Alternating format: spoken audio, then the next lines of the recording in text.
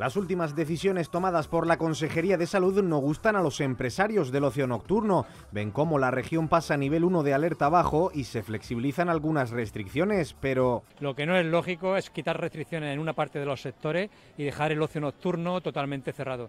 No tiene sentido ampliar los aforos al 50 al 75%, ampliar eh, los eventos a más de 5.000 personas y mantener el ocio nocturno en el interior cerrado, máxime cuando Andalucía y Valencia lo tienen abierto. Los hosteleros no entienden que en otras comunidades autónomas con peores cifras se relajen medidas. Desde el sector aseguran que no aguantan más y se plantean incluso la insumisión a la consejería. Que tú puedas estar en un restaurante sentado con seis personas tomándote un gin tonic desde las 2 de la tarde hasta las 2 de la mañana y que no lo puedas hacer en, una em, empresa de ocio nocturno.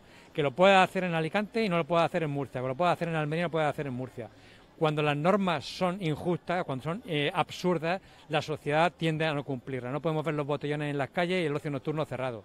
Entonces, el empresario lleva 18 meses cerrado y si no es en eh, la consejería y el gobierno regional no entienden la necesidad de abrirlo, creo que empiezan a plantearse la necesidad de empezar a incumplir las normas y abrir por su cuenta. Lo cierto es que las consecuencias económicas desde que comenzó la pandemia han sido devastadoras para el sector. Se ha perdido casi el 30%, 150 empresas ya, más de 150 han cerrado ya.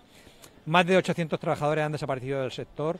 Se han dejado de facturar 110 millones de euros y yo creo que ha llegado el momento de iniciar la apertura del ocio nocturno sin más demora. El descontento de los empresarios es generalizado y piden al gobierno regional que les dejen trabajar como al resto de sectores de forma urgente.